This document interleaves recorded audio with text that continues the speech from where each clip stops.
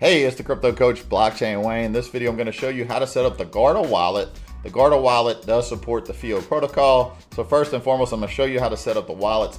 Guarda has multiple different wallets. So we're going to have a video also on mobile wallets, uh, web wallet, Chrome extension. This one I'm going to show you how to download the desktop wallet to your computer. Uh, it's just like downloading an app, but you're going to download desktop wallet here. And then you pick your operating system. If you're on Mac, Windows, or Ubuntu, uh, we're gonna do Windows, and there's a setup. And once it's finished downloading, I'm just gonna open that up and install it on the computer. Typically on desktop wallets, you have the opportunity whenever, say your computer crashes or you change computers, you can download it to another computer and restore it on that new computer. Let me get past these uh, little safety measures download anyway, and we're gonna see it download. So if anything else, so I'm the only one using this computer, I'm gonna click install when it pops up.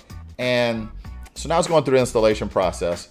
But basically, like I said, if, if your computer crashes or you change computers, you can download the wallet to a new computer and restore it uh, using your seed phrase. I'm gonna show you that here in a second. All right, so now we've got the, the wallet downloaded here. We're gonna go ahead and set this one up.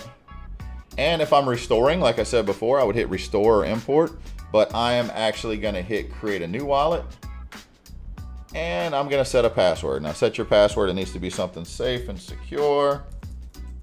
So put in a password, secure password, long string of letters and numbers is the best, something that's not easy to guess.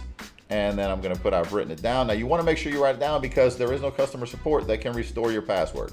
So take this very seriously when you're setting it up. All right, so it's creating the wallets, all the different types of wallets that are supported here. Just take a, a few seconds to set up each wallet.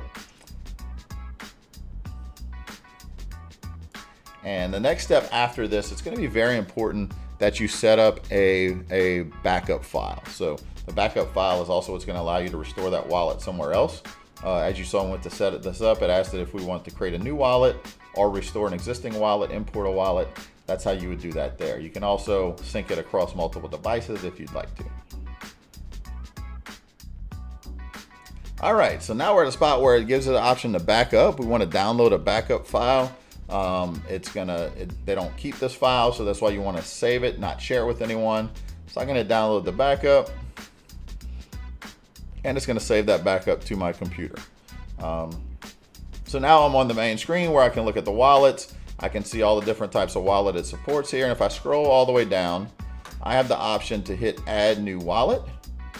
And of course, one of the ones that I always like to add when I get this wallet is the FIO protocol wallet. So I add that, I hit create, and I can download a backup for that one since I set up an additional wallet you